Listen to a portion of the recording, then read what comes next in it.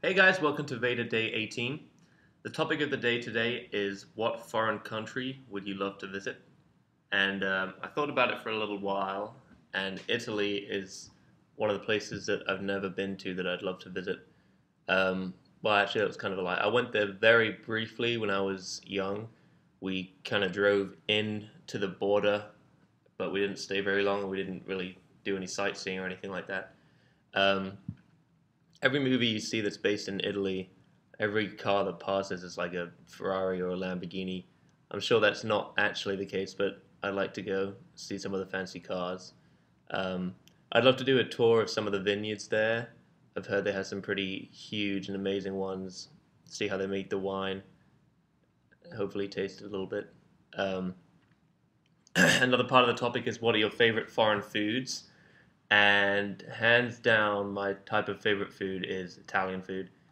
Um, it might have something to do with the fact that I've been vegetarian since I was born, and all the pizza and pasta kind of makes it easy for vegetarians to like Italian food.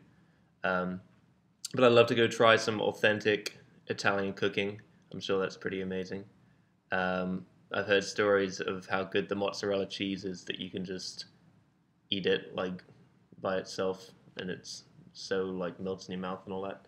Um, the last reason I'd want to go, which is kind of the biggest reason, is for the coffee. Um, I love coffee, mainly espressos.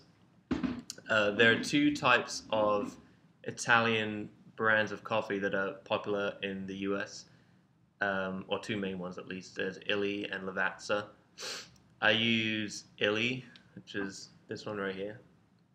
Um, they're both really good. I only use Illy because I'm more used to it. Uh, but Lavazza is really good too.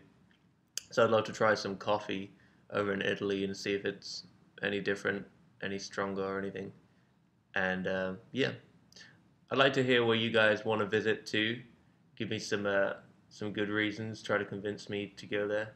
And uh, I'll see you tomorrow for Veda Day 19. Bye.